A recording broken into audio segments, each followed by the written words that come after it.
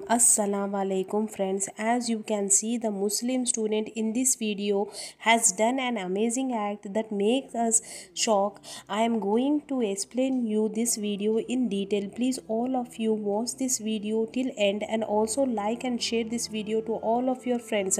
Okay let's come to the topic friends. As you all can see this video is related to the education. There was a get together in an university where the students and their parents were invited and every student was honored by a medal according to their the muslim boy is one of those student uh, his mother is feeling somewhat uncomfortable due to the high temperature. She does not express her discomfort to his son. Even though the son understands his mother condition, he immediately removes his cap and start